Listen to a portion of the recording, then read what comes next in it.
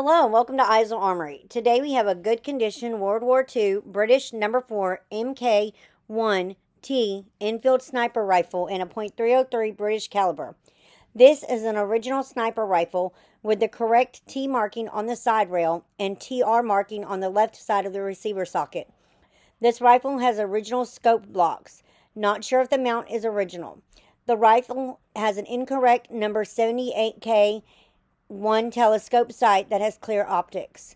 This scope was made post war for the Carl Gustav's recoilless weapon. This rifle is marked England on the right side of the receiver socket. Otherwise, it's not import marked and has matching serial numbers on the receiver and bolt. The forend and magazine do not match. The metal finish is original blue showing wear.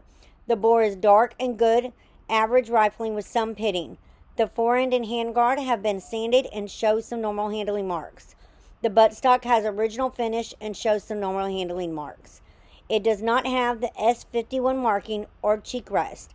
This is a hard to find original number 4 Enfield sniper rifle in any condition. Don't forget to hit the subscribe button so you don't miss out on any of our upcoming auctions.